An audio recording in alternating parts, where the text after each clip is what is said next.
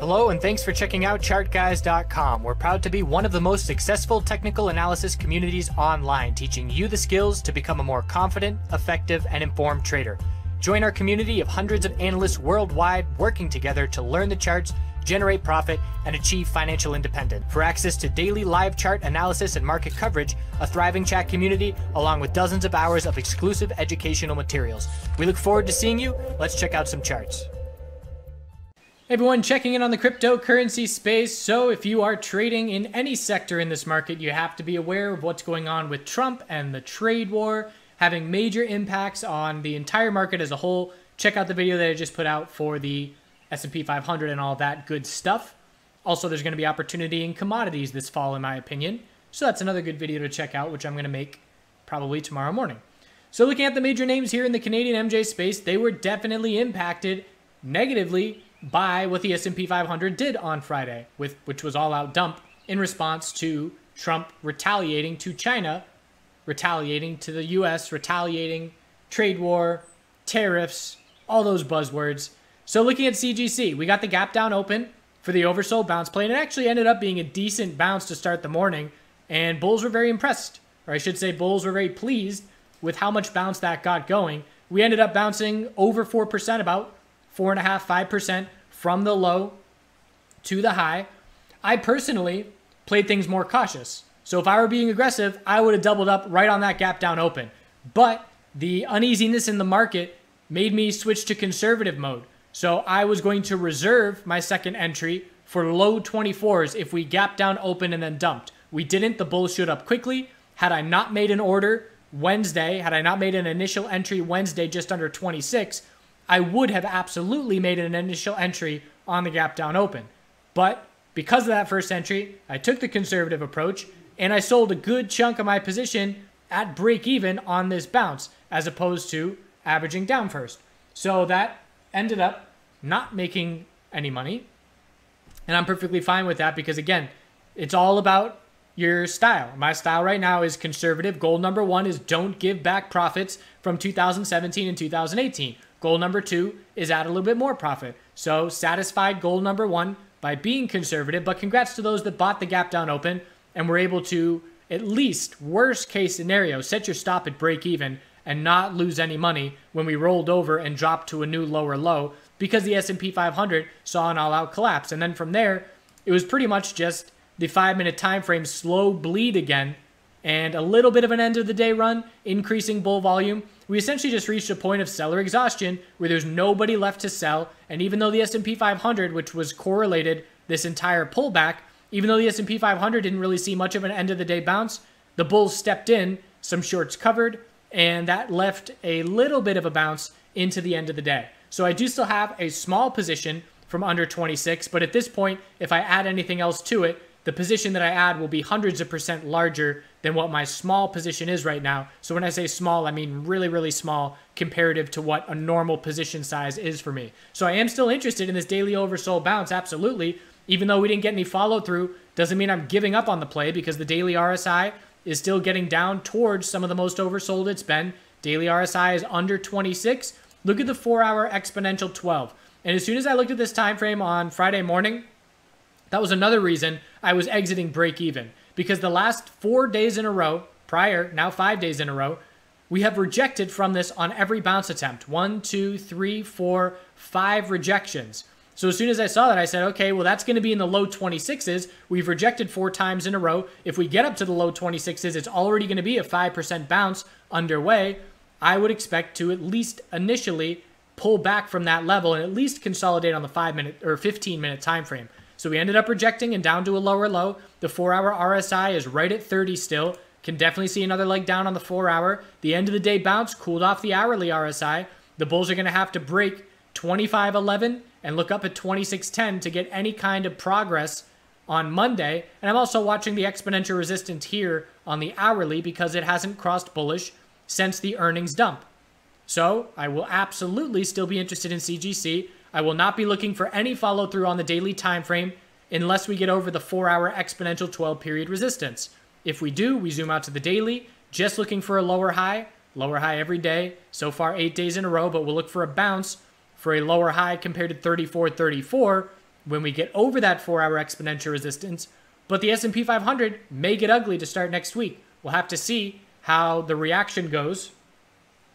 So, I probably at this point will only look to add a break at 24 and then I'll reestablish a solid position under 24 and again, my game plan is looking for that daily lower high and I believe there will be a solid 8 to 10% bounce once the temporary bottom is hit and once we get over that 4-hour exponential resistance. Cron is dumping as well. So Cron confirmed the bear flag on the daily down at the low 1136. Next support level is 11 psychological and the next clear weekly support is 956. So just psychological levels until we get down to that point. Weekly RSI is not oversold. Daily RSI is not oversold. That's why I'm interested in CGC and not interested in Cron. Definitely saw some impact of CGC correlation on the rest of the sector with its bounce on Friday, although not tick for tick with all the major names. They were all doing their own thing to a certain degree. ACB still very weak, confirming the daily bear flag that we saw after the three day bounce attempt. And now we're looking down 550 $5 psychological levels. Bears still in complete control of ACB. APHA continues to stand out strong. It held on and did not break that low of Thursday. That's very notable where everybody else in the sector was weak. We also had a $500 million uh, short term prospectus. Perspe- well, that's the first time I ever said that word. Prospectus. So they filed that. That is dilution. And it started making its rounds on Twitter. We haven't had a press release yet. We'll see if the press release leads to a sell off, but I am surprised there was not more bearish reaction. I actually entered some puts on APHA when that started circulating and very quickly covered it break even because of a lack of any follow through. So here's our initial reaction to Twitter starting to share that dilution news. Quick bounce, dumped again, quick bounce, dumped again, quick bounce. And as soon as I saw that, I said, all right, that's not what I expected to happen. Break even, no harm, no foul either way. And we did dump at the end of the day. So we'll see if that carries over a little bit into Monday. But daily time frame, I'd like to see a pullback because as I said, I'm looking for a daily higher low compared to 583. And I think if we can form a daily higher low right when the CGC gets a daily meaningful bounce going, that will help the bulls form a daily higher low compared to 583 as opposed to just fading back down towards 583. So still keeping an eye on APHA, but we have to see a break of 641 to start pulling back for that daily higher low. TLRY, daily bear flag confirming 28, 27 psychological supports. Anything under 3240 is now just a lower high on the daily time frame, keeping those bears in full control. So I'm not going to cover Hexo and OGI in my regular daily videos, but covering it here on the weekend as I've got more time. Anything under 460, just a lower high on Hexo. Solid bounce from the open. We opened down at 395 and we got all the way up to 418. So that is a solid 5% bounce from the low. But again, just a lower high, rejecting with a double top at 418 the last two days and then fading back down. Bulls have to change the hourly trend by holding 392 and breaking 418 to get some meaningful bounce going. And then we'll just be looking for a daily lower high. Again, have to change daily trends for bulls to prove anything to us. OGI. Remember that head and shoulders long ago? That saved. Big time follow through. That bear break was at 602, and here we are at 465. Anyways, daily clear confirmation of the bear flag. Big bear volume. Now we're oversold on the daily. So OGI, four hour oversold, just getting there. Daily RSI just getting oversold. So let's see if it continues to get beat up and joins the ranks of CGC as far as most beat up four hour and daily RSI out of major names. So OGI will be on watch, but anything on OGI under 528, just a lower high on the daily time frame. CTST still all bears. We did see a solid bounce, but honestly, I would be staying far away from this name. If you're not already short, probably too late to see significant downside in my opinion. If you're looking long, probably playing with fire low, high, higher, low, lower, high. So it's worth watching. You know, there's little day trade scalps in there. 178, actually, our higher low is now 183. Anything under 198 is a lower high. If this were to tighten up through Monday with a rejection from 198, and then we see a break Tuesday, that might be worth trading just for a flip. But when I say flip, I mean holding for less than an hour.